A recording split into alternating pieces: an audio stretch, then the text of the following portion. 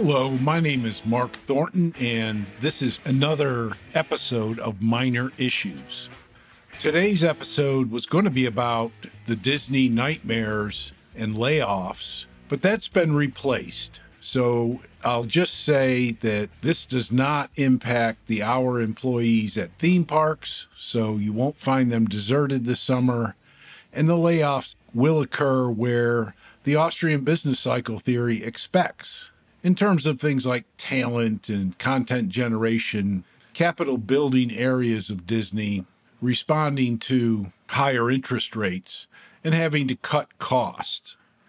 But today's episode is replaced with an article from the front page of the Wall Street Journal on investing in gold. It's quite comical, unfortunately, but it's still great to see the Wall Street Journal forced to publish something on their front page about investing in gold. It's titled Weary Bitcoin Investors Chase Shiny New Object Gold.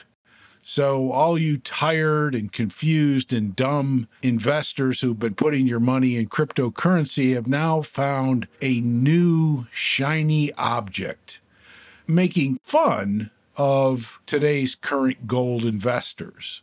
They say, for example, that in the old days, gold and silver, they were for old farts. But now gold is portrayed as safe and stable.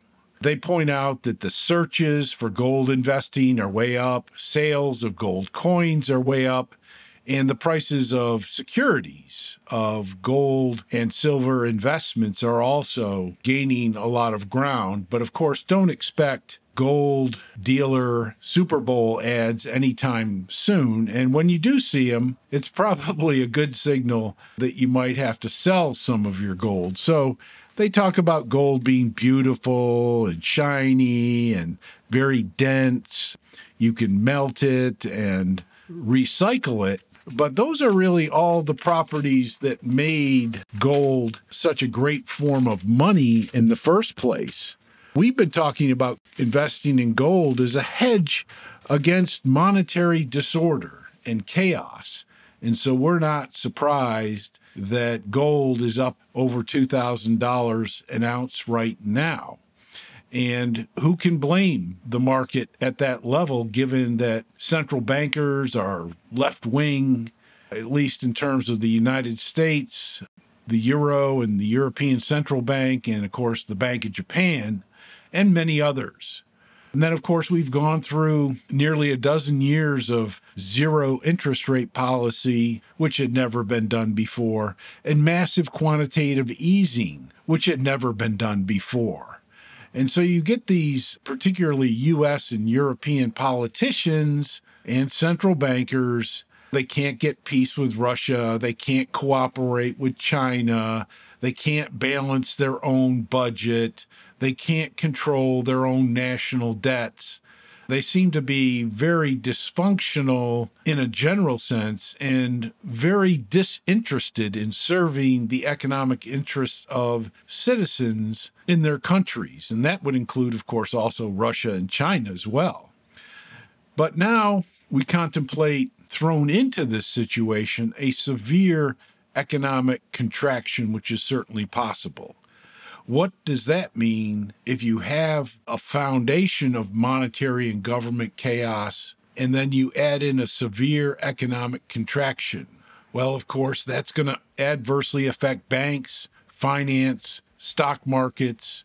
It's going to adversely affect government budgets. Revenues are going to go down, expenditures are going to go up, widening the deficits and increasing the interest expense of those national debts. And then, of course, the potential for higher taxes and other crimes. And so, when you look forward into that potential, what you see is the potential for much bigger bailouts and more monetary inflation.